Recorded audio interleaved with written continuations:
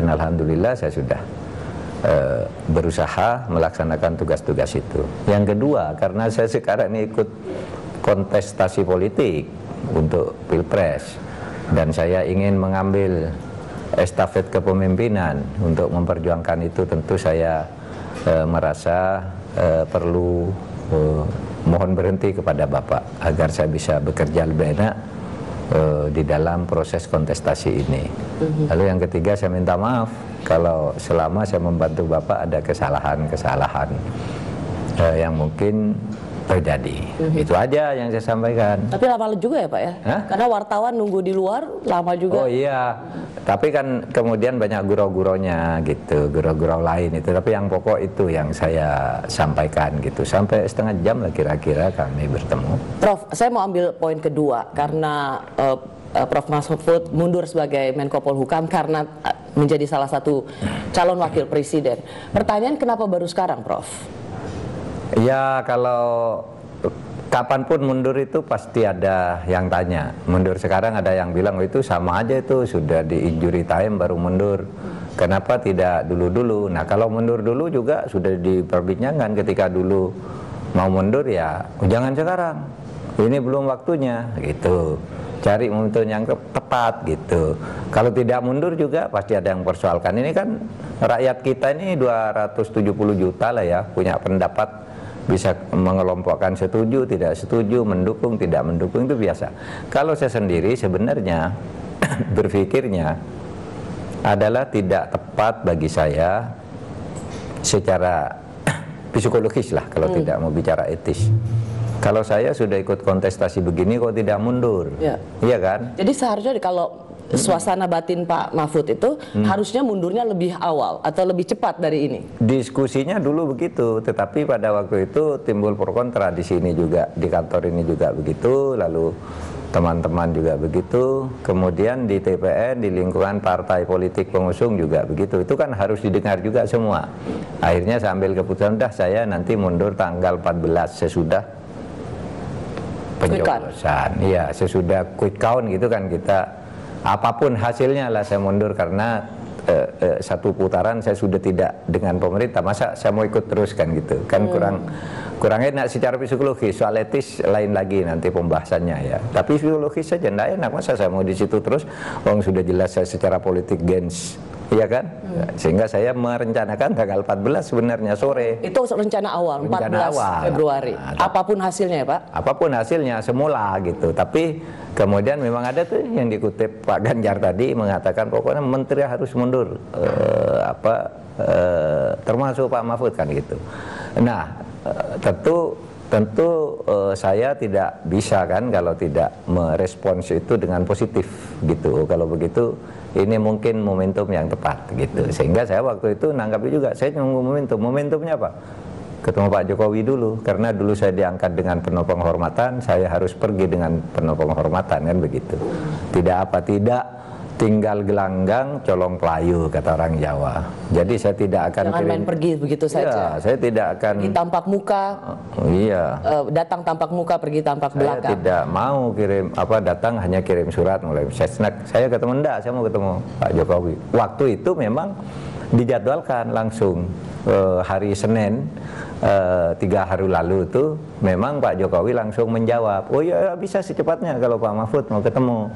Gitu. Tetapi saya yang di luar kota saya ada di Medan terus ke Riau terus ke mana jadi persoalan waktu dan jadwal waktu. saja. Begitu sampai Jakarta Pak Jokowi yang keluar kota kemarin ke Jawa Tengah kan ke Bantul ke itu. Baru sore ini kami ketemu di luar jam kerja kami ketemu di Istana Merdeka. Tadi. Prof, saya mendengar juga salah satu alasan mengapa Prof dilarang mundur hmm. itu adalah karena ada juga capres yang di dalam kabinet dan nggak mundur. Prof Mahfud nggak merasa rugi dong? Kalau saya tidak merasa rugi, tapi yang bersikeras seperti itu ada juga, gitu ya. Artinya yang sudah ngomong di media kan udah banyak gitu. Jangan mundur dong, yang lain juga tidak mundur. Kenapa Pak Mahfud mundur gitu? Rugi kalau kalau mundur. Tapi uh, itu tapi ada yang juga mendorong kenapa tidak mundur saja gitu. Nah pertimbangan saya pada akhirnya ya saya mundur lebih bagus bagi saya dan mungkin bagi Republik lah untuk sama-sama belajar memperbaiki negara ini. Jadi kalau sekarang saya tanya sebagai salah satu calon wakil presiden dan Hmm. baru saja hari ini kami 1 Februari eh, bertemu dengan Presiden Jokowi mundur, Hmm. minta mundur.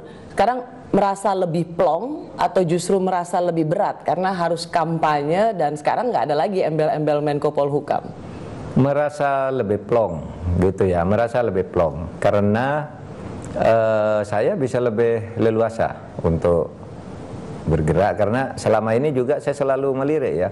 Saya kalau mau pergi mau kampanye tuh saya rutin lah bikin minta surat cuti.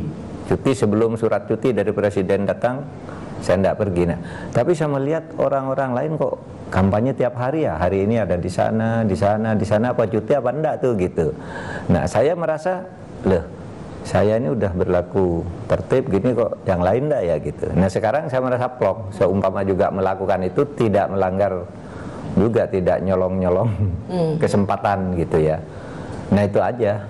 Jadi merasa lebih plong karena saya merasa lebih plong meskipun lalu merasa agak apa namanya sedih karena tentu harus kehilangan kawan-kawan yang setiap hari ada di sini ya.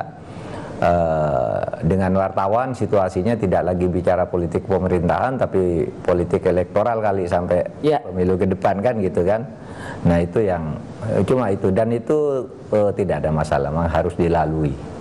Prof, ada sindiran eh, ketika Prof mengatakan ingin mundur dan menunggu timing. Sindiran itu ditujukan pada Prof Mahfud dengan mengatakan kalau emang ada standar etik, masa harus pakai timing? Etik kan nggak pakai timing.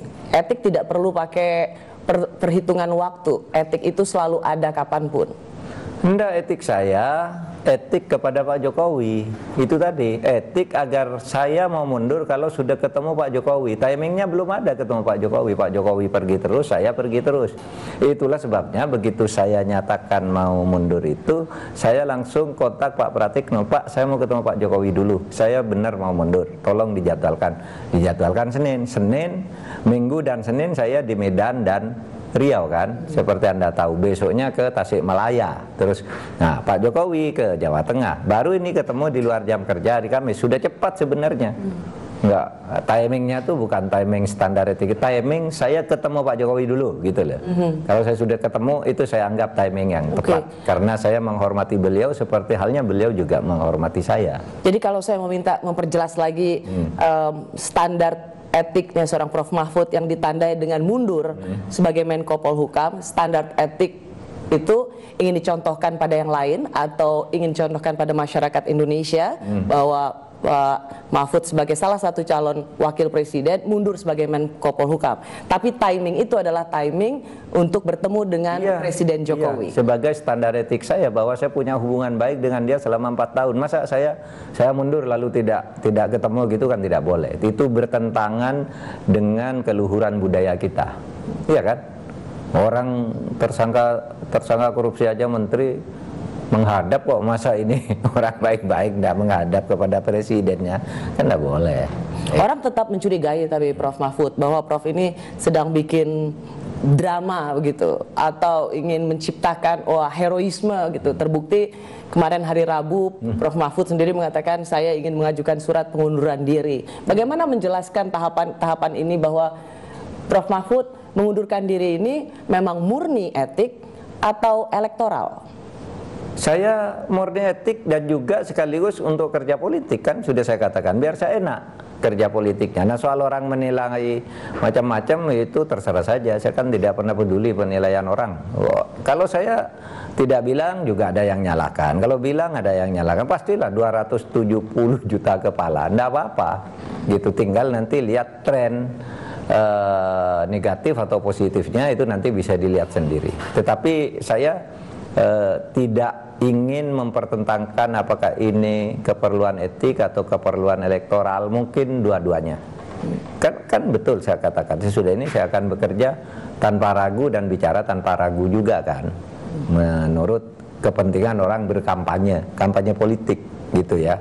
Bukan membocorkan rahasia negara tapi kampanye kan gitu kan. Beda dong membocorkan rahasia dengan bahwa punya waktu yang lebih banyak punya waktu untuk yang lebih kampanye. banyak. Ya masih 10 hari kan. Wah, itu waktu Meskipun itu juga dianggap terlambat.